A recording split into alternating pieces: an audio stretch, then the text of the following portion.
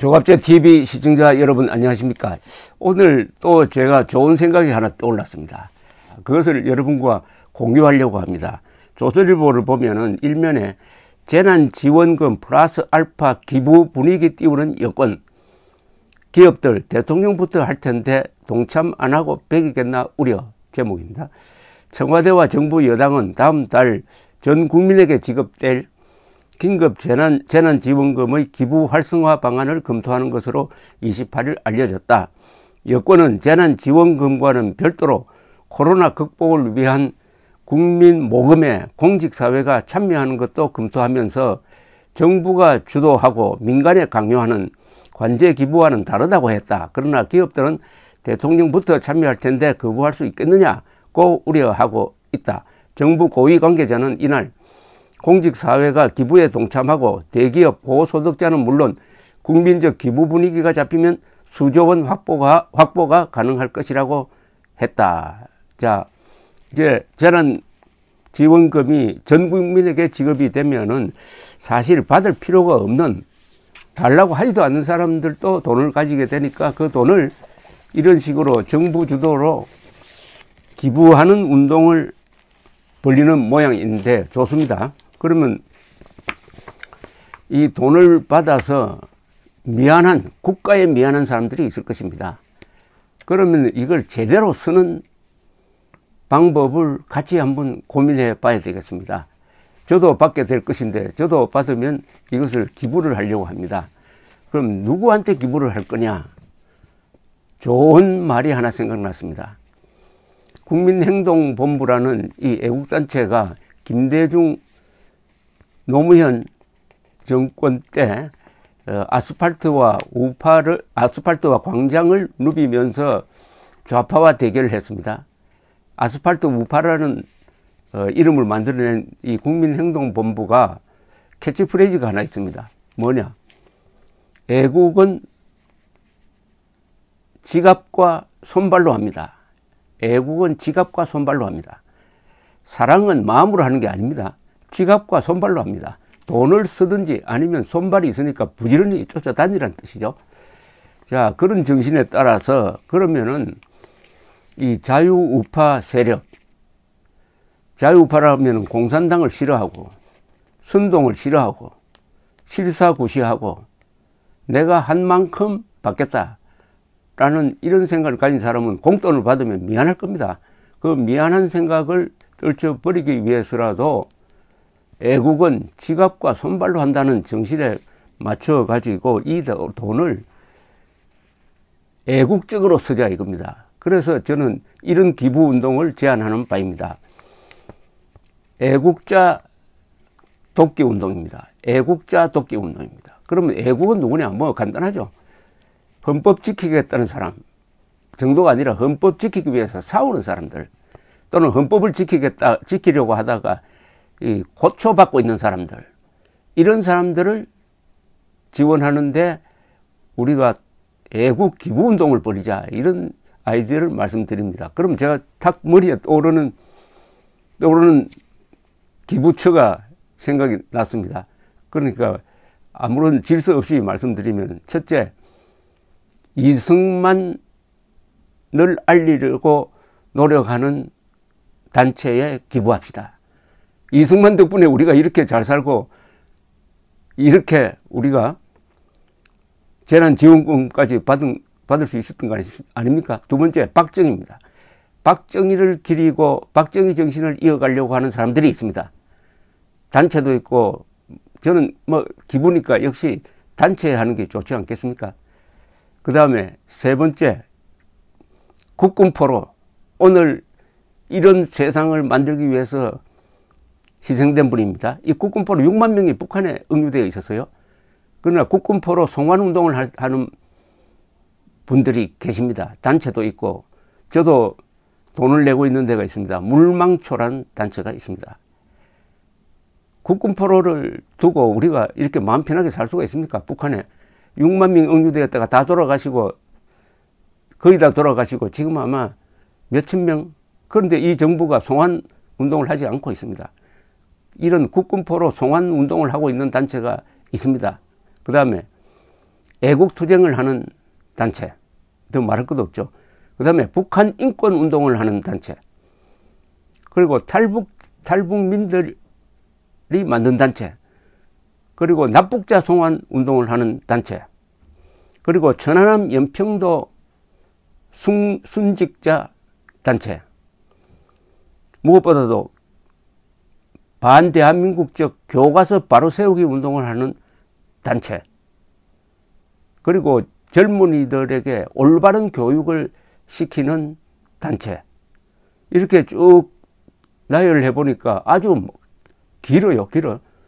그러면 어떻게 할 것이냐. 여러분들이 저도 좋은 단체를 뽑아 가지고 이 방송을 통해서 앞으로 소개를 해 드릴 테니까 여러분들도 적극적으로 알아봐야 합니다. 단, 이런 돈을, 돈은 정직하게 써야져야 됩니다. 그 뜻은 뭐냐면 이 돈을 받아서 정직하게 쓸 단체. 그리고 거짓말 하지 않는 단체입니다. 이거 굉장히 중요합니다. 거짓말, 선, 선, 나쁜 의미에서의 선동을 하는, 하지 않는 단체.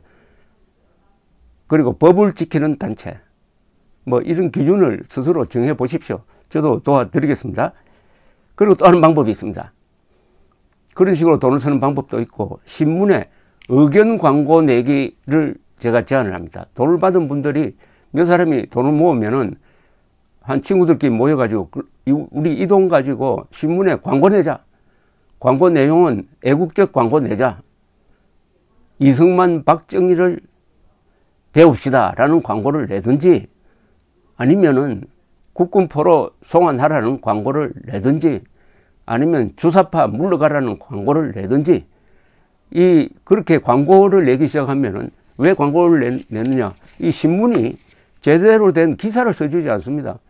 심지어 김대중 해외 비자금 추적 추적 기사가 월간 조선에 연일 나오는데 거기에는 국정원이 입수한 김대중 비자금 관련 1억 달러 수표 사진까지 나왔는데 써주지 않아요. 그러면은 돈을 이번에 공돈을 받은 사람들이 광고를 비를 모아가지고 저 조선일보 일면에다가 일면에다가 그 수표 사진을 집어 넣어가지고 광고를 내면서 조선일보는 왜 이거, 이거 보도 안 하느냐?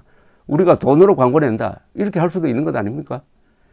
이런 식으로 돈을 쓰면은 분위기가 바뀔 겁니다. 분위기가 어떤 쪽으로 바뀌느냐? 좋은 쪽으로 바뀌는 거죠. 돈의 힘입니다. 역시 돈의 힘. 그래서 이번에 재난 지원금 주면은 안 받겠다는 말씀 하지 말고 받으십시오. 받아가지고 나라를 위해서, 진실을 위해서, 자유를 위해서, 정의를 위해서 씁시다. 이승만, 박정희, 국군 프로, 애국 투사들, 북한 인권 운동가들, 탈북자, 납북자, 애국, 아, 이거 하나 빠졌네요. 애국 정치인들.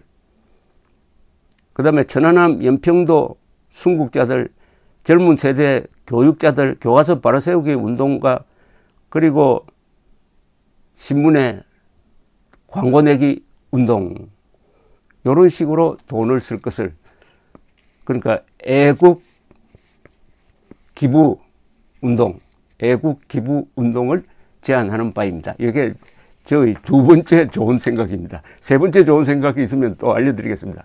이 방송을 들으신 분들은 이 방송을 또 여러 분들에게 확산시켜 주십시오. 그렇게 해야 좋은 사람들이 뭉치게 됩니다. 좋은 사람들이 뭉칩니다. 나쁜 사람들은 작당을 하지만은 우리 좋은 사람들은 서로 연락을 해가지고 네트워킹을 해야 됩니다. 감사합니다. 조합제 TV 시청자 여러분 안녕하십니까? 공산주의의 가장 깊은 곳을 들여다본 사람이 있습니다. 한국에서는 이승만 대통령이고 문학가로서는 뭐 여러 사람이 있는데 대표적인 분이 조지 오웰입니다. 1984. 조지 오웰은 공산주의와 싸우는 방법을 여러 번 제시한 바가 있는데 제가 기억에 남는 게 이런 말입니다. 공산당과 같은 전체주의와 싸우려면은 같이 닮아야 한다라는 말이 있다. 그러나 나는 생각이 다르다. 머리를 써야 한다라고 했습니다. 머리를 써야 한다.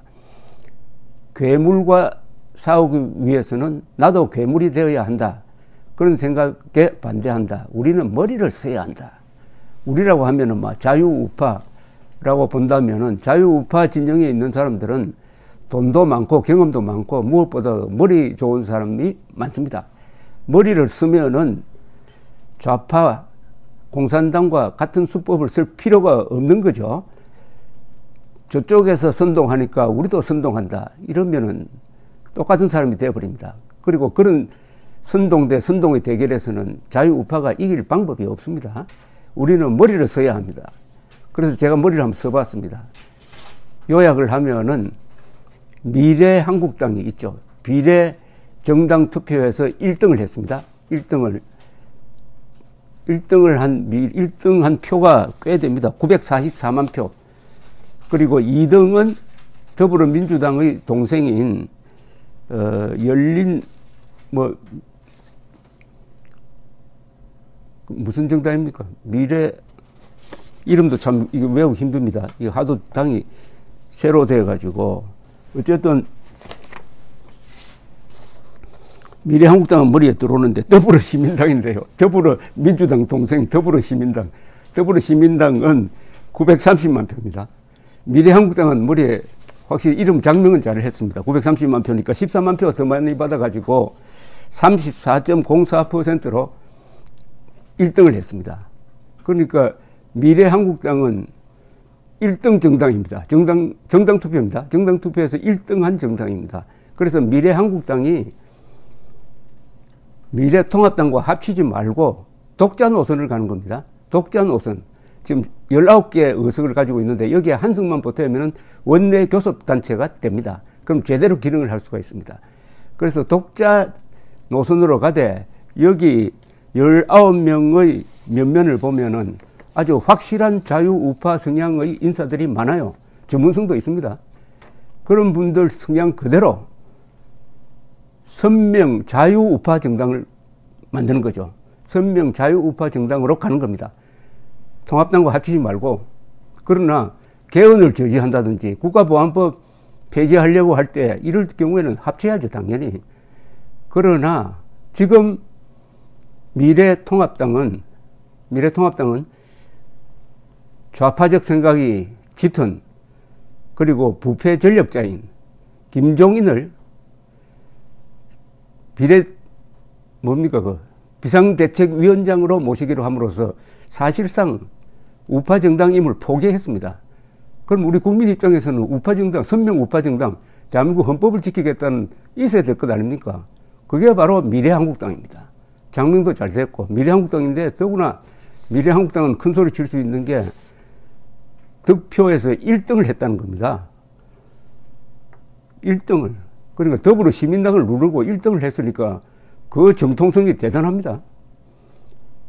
더불어 시민당보다는 두 석이 더 많아요. 19석입니다. 저희 이 좋은 생각에 어떻게 생각을 하십니까? 자, 그렇게 되면 앞으로 어떤 일이 벌어질 수 있느냐는 겁니다. 이 비례 의원은, 비례대표 의원은 지역구가 없습니다. 이게 강점이 될 수 있습니다. 대한민국 전체를 지역구로 삼는다는 거죠. 그러니까 민원 받지 않고 어디에 다리 놓는다, 뭐 공장 놓는다 이런 이야기 하지 말고 오로지 국가 이익을 위해서 일할 수 있는 절호의 기회입니다. 지역이 없으니까요. 그러니까 시달리지 않습니다. 그러니까 전문성대로 또 여기 전문성이 있는 분들이 많아요. 오로지 국가 이익을 위해서 일하면서 4년 뒤를 기약하는 거죠. 4년 뒤. 4년 뒤. 4년 동안 앞으로 시간이 또 많아요. 4년 뒤. 그 사이에 딱 한가운데에 대통령 선거가 있습니다. 미래 한국당이 잘 하면은 대통령 후보도 낼 수가 있습니다. 그리고 미래통합당보다 더 좋은 후보 같으면은 당선도 될 수 있습니다. 대통령 낼 수 있어요. 자, 문제는 이렇게 할 경우에 이제 한석이 모자라는 건데 무소속 한 사람 입당시키든지 아니면은 지금 미래통합당에서 아마 부글부글 하는 사람들 많을 겁니다. 그런 사람들 중에 한 사람 탈당해서 받으면은 원내 교섭단체를 이룰 수, 절대로 원내 교섭단체가 이루어져야 합니다. 원내 교섭단체를 이루지 못하면은 정당으로서 기능이 사실상 반신불수가 됩니다. 이 원내 교섭 단체에 주어지는 혜택이 많습니다.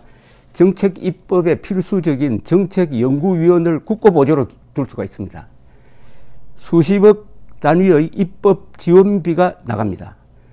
국회 운영의 실질적인 핵심 권한인 윤리심사 요구, 의사일정 변경 동의, 국무위원 출석 요구, 의안 수정 동의, 긴급 현안 질문, 본회의 및 위원회에서의 발언 시간 및 발언자 수, 상임위 및 특별위 의원 선임 등에 있어서도 권한을 갖습니다.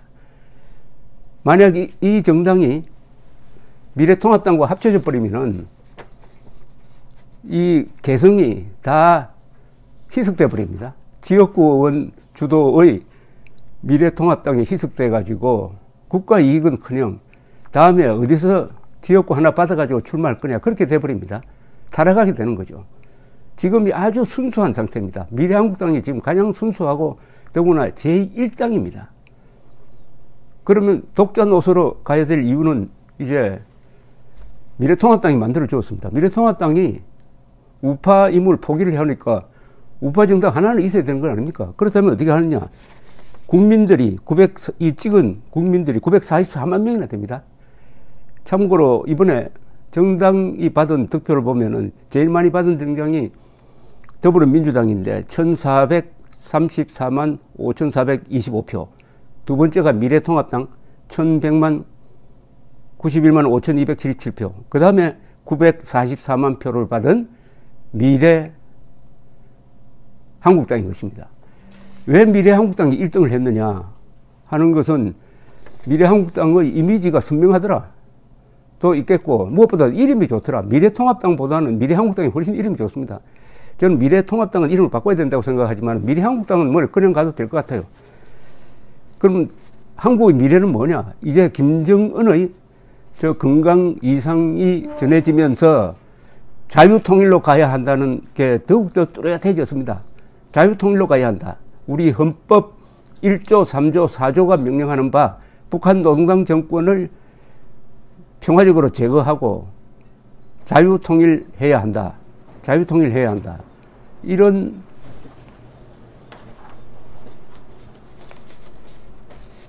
대전략을 세운 데 있어서는 미래통합당은 어림도 없습니다. 그런 걸 완전히 포기해서 그게 아무 관심이 없어요. 요새 하는 집 보면은 더구나 김종인 같은 좌파 인사를 기회주의적 좌파 부패 인사를 어떻게 얼굴로 받아들입니까? 사실은 사망 선고했다고 보면 됩니다. 통합당은 스스로 자살했다고 보면 되니까 대한민국이 붙들어야 할 정당 하나는 있어야 되는데 마침 마침 참 연동형 비례제가 가져다 준 의외의 선물입니다. 미래한국당입니다. 자, 그럼 미래한국당 멤버를 한번 보겠습니다. 이분들한테 나라를 맡길 수 있느냐? 아주 잘 되어 있어요. 독립투사 후손도 있고, 유명한 군 출신도 있고, 경제 전문가도 있고 외교 전문가도 있고 더불어 탈북자도 있습니다. 이 정도면은 충분히 대한민국의 운명을 맡길 수 있다. 방향타를 잡도록 할 수 있다. 이런 생각이 듭니다. 1번이 윤주경 전 독립기념관장. 윤봉길 의사의 장손이죠. 2번 윤창현 전 한국금융연구원장. 아주 자유시장경제론자입니다. 3번 한무경 전 한국여성경제인협회장. 4번 이종성 전 한국 지체장애인협회 사무총장, 5번 조수진 전 동아일보 논설위원, 6번 조태용 전 외교부 1차관, 아주 어, 유명한 전략통입니다. 이분의 장인이 이범석 외무장관이었는데 아웅산 테러에 희생된 분입니다. 7번 정경희 전 국사편찬위원, 이분은 좌편향 교과서, 반대한민국 교과서를 바로 잡는데 노력을 해왔고, 바로 그 일을 해야 될 분입니다. 8번은 유명한 신원식 전 합동참모본부 차장. 한국군에서 가장 우수한 엘리트로 꼽혔고, 애국운동도 열심히 했던 분입니다. 9번 조명희 전 대통령 소속 국가우주위원회 위원. 10번 박대수 전 한국노총 상임부위원장. 11번 김예지 하트 시각 장애인 체임버 오케스트라 피아니스트 12번이 지승호 현 나우 대표이사 이 탈북자입니다. 13번 이영 전 한국여성벤처협회장 14번 최승재 전 소상공인 생존권 운동연대 대표 15번 전주혜 전 대한변호사협회 일과 가정 양립을 위한 위원회 부위원장 16번 정운천 의원 현역입니다. 17번 서정숙 현 한국여약사 회장 18번 이용 현 봅슬레이 스켈레톤 국가대표 총감독 19번 허은하 현 한국이미지전략연구소장 어떻습니까? 우선 자유우파라는 이런 이념적 잣대로 본다면 윤주경, 윤창현, 조태용, 정경식, 신원식, 지승호 어디 빠, 내도 빠질 사람들이 아닌 것입니다. 자, 이게 가능하려면은 첫째 여론이 일어나야 됩니다. 여론이 이제 한국의 자유우파에 소속된 분들 어, 저는 전 인구의 최소한 40%는 된다고 봅니다. 이분들이 기댈 때가 있어야 됩니다. 정당이 있어야 됩니다. 평화시의 군대가 정당입니다. 그런데 그런 정당을 만들려는 시도가 이번에도 있었습니다.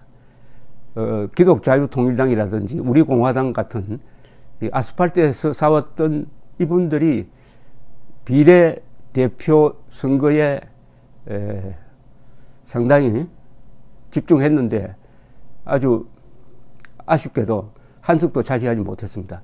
그렇다면은 새로 모색하는 노력도 해야 되겠지만 기존에 있는 미래 한국당을 선명 우파 정당으로 자유우파 정당으로 키우는 게 가장 쉽습니다. 또 이게 모든 것이 법적으로 뒷받침되고 있습니다. 사실은 사실은 미래한국당이 미래통합당과 합치는 것은 그것은 어, 법 정신과도 맞지 않습니다. 그대로 가는 겁니다. 그대로 가는 것이고 20석을 반드시 채워야 한다는 생각이 드니까 여기에 동의하시는 분들은 미래 한국당으로 전화를 거십시오. 0262880300 0262880300입니다. 홈페이지에 들어가셔서 미래한국당 홈페이지에 들어가셔가지고 의견을 남기십시오. 전화번호를 한번 더 불러드리겠습니다. 0262880300 저 이 생각을 여러 사람들이 공유해야 됩니다. 그리고 글을 통해서 말을 통해서 확산시켜야 힘이 될 것이라고 생각합니다. 제가 미래 한국당 운동 기간 중에 몇 분을 만나보았더니 저와 비슷한 생각을 가진 사람들이 의외로 많다는 것을 알았습니다. 그런데 미래 통합당이 저 모양이 되니까 이제 미래 한국당 사람들도 생각을 달리 하지 않을까 하는 생각이 듭니다. 원유철 대표인데 그분도 아주 자유 우파적 성향이 강한 사람입니다. 특히 안보 문제에 있어서 제 기억으로는 우리도 핵무장 해야 된다는 의견을 제일 먼저 발표한 분으로 기억이 됩니다. 무엇보다도 미래통합당은 자유우파 노선에서 이탈해 버렸습니다. 그러면 우리가 대안을 찾아야 합니다.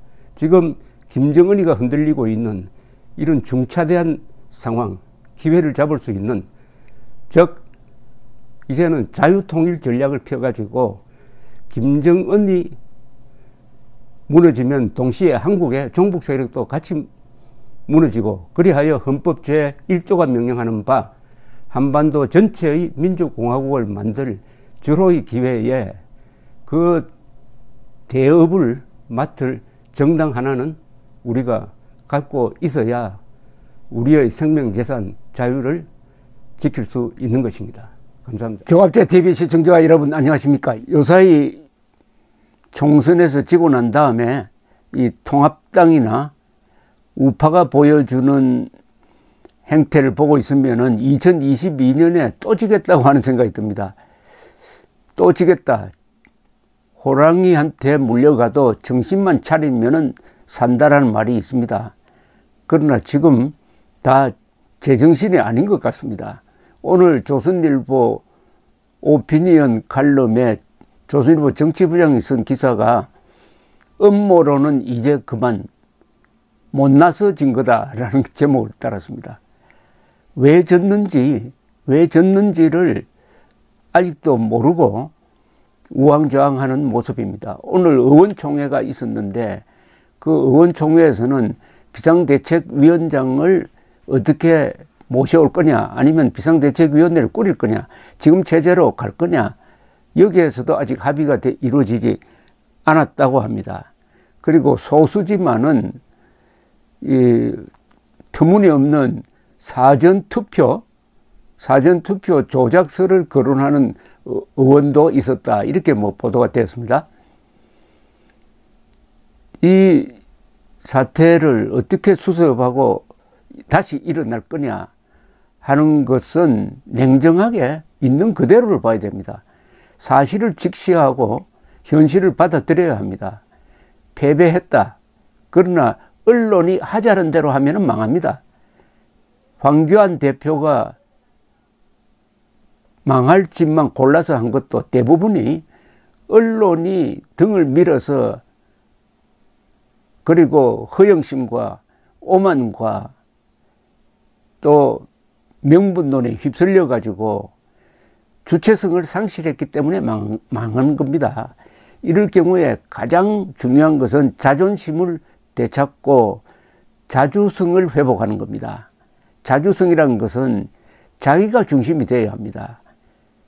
비상대책위원장을 왜 자꾸 외부에서 끌어옵니까? 자유한국당이나 미래통합당에 대해서 아무런 애정이 없는 사람을 끌어와가지고 당을 고쳐달라고 하면 되겠습니까? 아니, 당을 바로잡을 사람이 없는 당이라면은 그 당은 정말 문제가 있는 것 아닙니까? 그러니까 당 내에서 해체론이 나오는 것 아닙니까? 정당 해체론이 나온다는 것은 국가로 말하면 군대 해체론이 나오는 거하고 똑같습니다. 정당이나 군대나 권력을 쟁취한다는 점에서 속성이 같아요. 평소에 정당은 군대입니다. 국군입니다. 정당의 자존심, 정당의 존재 이유에 대해서 자각이 되어 있지 않다. 이렇게 보입니다. 제가 자유우파가 2022년에 역전승하는 방법이 있다고 해서 메모를 해 두었더니 마침 이게 다소 생각 있는 사람들 사이에서 화제가 되는 듯 합니다. 요걸 다시 제가 소개를 해 드리겠는데 그듭 중요한 것은 주체적 관점을 갖는 겁니다. 노예 근성에서 탈피해야 됩니다. 우파든지 아니면 통합당이든지 자신이 해결하겠다. 내가 해결한다. 뭘로 해결할 거냐? 근거가 있어야 될 거 아닙니까? 그 근거는 사실과 법과 그 다음에 과학입니다. 모든 것을 사실 그대로 보고 거기서 나아갈 길을 찾아야 되는데 이게 바로 실사구시입니다. 실사구시는 한자를 쓰면 명확하게 뜻이 나옵니다. 실은 현실입니다. 사는 사실이에요. 그러니까 사실과 현실을 기초로 해가지고 나아갈 방향을 정한다는 게 실사구시입니다. 지금 미래통합당은 실사구시해야 됩니다. 현실을 잘 살피고 사실이 뭔지를 알고 그 다음에 나갈 방향을 정해야지 남이 하자는 대로 그리고 무엇이 그럴듯하다 해가지고 여기 쫓아가다가 저기 쫓아가다가 길을 헤매서는 안 되겠다 이렇게 보입니다. 김유신이 백제를 멸망시킨 다음에 당나라 군대가 신라까지 치려고 하니까 의전회의가 열렸습니다. 태종무열왕을 주제로 중심으로 해가지고 거기서 한 말을 저는 가끔 인용을 합니다. 뭐라고 했느냐? 개는 주인을 두려워하지만 주인이 개의 다리를 밟으면 물어야 합니다. 우리가 어찌 환란을 당해서 가만히 있을 수가 있겠습니까? 이렇게 이야기합니다. 그 말은 뭐냐? 당나라가 비록 주인 노릇을 하면서 신라를 개처럼 취급하는 거 좋다. 그것도 감수할 수 있다. 그러나 당나라가 신라의 자존심을 상하게 해가지고 다리를 밟는다? 그럼 물어야 된다. 이런 뜻이죠. 그럼 물어야 된다. 이런 결전 자세를 취하니까 당군, 너희 장군이든 소정방이가 그냥 백제 포로들만 데리고 돌아갔습니다. 당고종이 물었습니다. 왜 내 친 김에 신라마저 치지 않았느냐? 여기에 대해서 소정방은 이렇게 이야기했다고 삼국사기에 적혀 있습니다. 신라는 비록 나라는 작지만 임금은 백성을 사랑하고 신하는 나라에 충성하고 아랫사람은 윗사람 모시기를 부형과 같이 함으로 함부로 도모할 수가 없었습니다. 이렇게 이야기합니다. 그러니까 임금, 백성, 신하가 똘똘 뭉쳐 있었다는 이야기입니다. 이런 주체성이 바로 신라의 삼국 통일의 근거가 되었고 그 정신이 워낙 높았으므로 그 뒤에 고려, 조선, 대한민국이 세계에서 가장 강력한 문화 대국인 중국 옆에 붙어서도 우리 독자적인 문화와 아이덴티티를 지켜올 수 있었다. 그 역사를 이어가는 정권이 바로 한국의 우파 정권입니다. 바로 미래통합당입니다. 미래통합당이 이런 민족사적 자존심을 갖고 있느냐? 제발 삼국사기를 읽으면서 신라가 삼국 통일할 때 어떤 정신으로 했는지 그것을 좀 느끼면은 아마 재기할 용기가 생기지 않을까 이렇게 생각이 듭니다.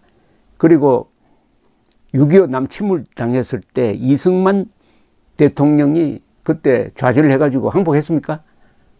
지금 6.25 남침 때보다 미래통합당이 더 어렵습니까? 그때 대한민국은 동맹국이 없었어요. 미군 다 철수했습니다. 그리고 가장 막강한 군대, 즉 소련 군대, 모택동 군대, 그리고 그 둘이가 지원하는 북한군, 이 세 나라가 합쳐가지고 탱크도 없는 국군을 탱크 200대로 기습을 했습니다. 그러면은 1패 도지가 정상인데 버텨냈어요. 국군이 버텨냈습니다. 왜 버텨냈느냐? 희망이 있었습니다. 미군이 참전할 것이다. 그리고 이승만이란 중심이 있었어요. 지금 미래통합당이 기습받은 대한민국보다 더 불리합니까?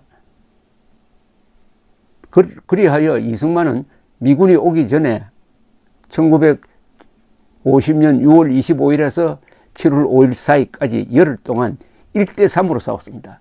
1대3으로. 즉, 중국, 소련, 북한군과 1대3으로 싸웠습니다.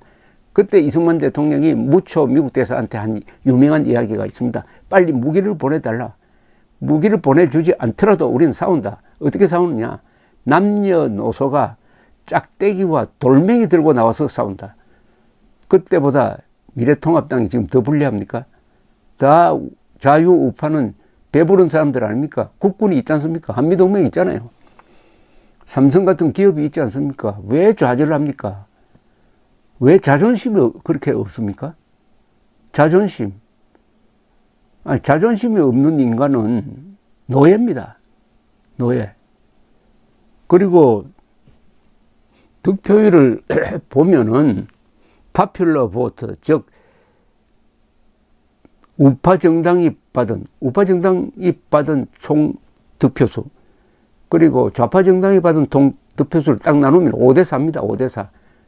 5대 4 구도예요. 5대 4니까 다음 대통령 선거에서는 7%만 당겨오면은 47대 43으로 이길 수 있는 구도입니다.